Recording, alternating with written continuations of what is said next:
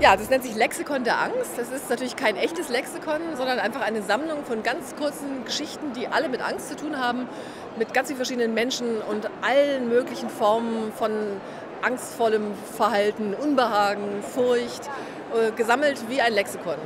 Also ich habe schon sozusagen ähm, geordnet wie ein Lexikon. Also es gibt einzelne Buchstaben von A bis Z und die Überschriften sind eben alphabetisch geordnet. Aber es ist jetzt nicht so, dass man zu, jedem, zu jeder Angst einen Buchstaben und einen Artikel findet, der das erklären würde, sondern es ist eigentlich nur ein Spiel mit dieser Lexikonordnung, die eigentlich auch wieder aufgelöst wird. Also es ist eigentlich eine Mischung von, von erzählten Geschichten und einer scheinbaren Lexikonordnung.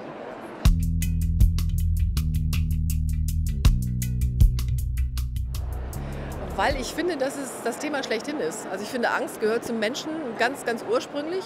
Äh, egal wann, das war immer schon so. Und, und es ist auch eines meiner wichtigsten Themen, mich mit Angst zu beschäftigen. Es ist auch eine, ein kraftvolles Gefühl, ähm, aus dem man viele, viel erzählerisches Material schlagen kann.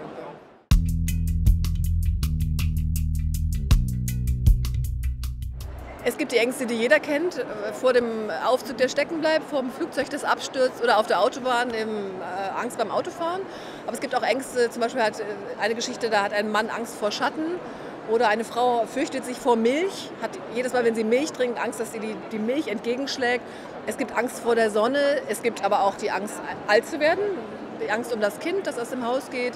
Also es gibt sozusagen Ängste, die uns sehr nahe liegen und auch vielleicht Ängste, die für manche Leser ähm, eher bizarr scheinen. Also die, eigentlich die ganze Spielart von Angstmöglichkeiten.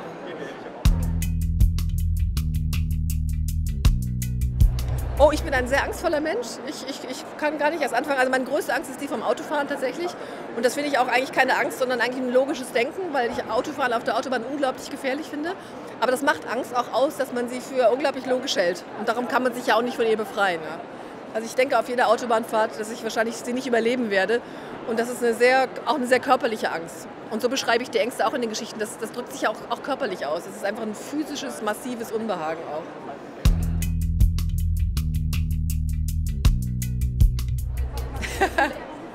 nee, also ansteckend ist das nicht. Ich glaube eher im Gegenteil, wenn man genauer hinschaut und sich die Angst anschaut, ähm, wird sie weniger diffus und vielleicht greifbarer und erzählbarer. Und eigentlich, glaube ich, ist es eher angstlindernd, wenn man, wenn man sich Ängste auch genauer anschaut.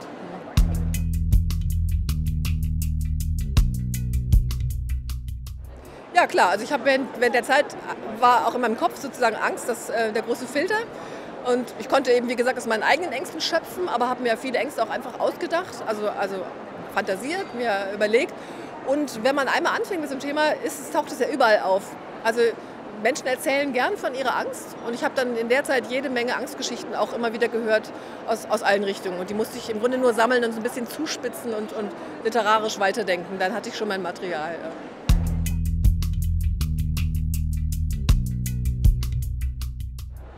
Ja, ich finde, Gemütlichkeit gibt es genug. Also wenn ich es gemütlich haben will, mache ich mir einen schönen Fernsehabend. Aber ich finde, Literatur hat eine andere Funktion. Also da geht es um, um Fragen und, und Unbehagen und, und die Risse in unserem glatten Leben. Und Angst ist ja so ein, ein großer Riss, den, den glaube ich, alle kennen. Und da will ich von erzählen und nicht von dem, das funkelt und glänzt und sowieso gut läuft. Also gemütlich machen kann man sich anders viel besser als mit Literatur, glaube ich.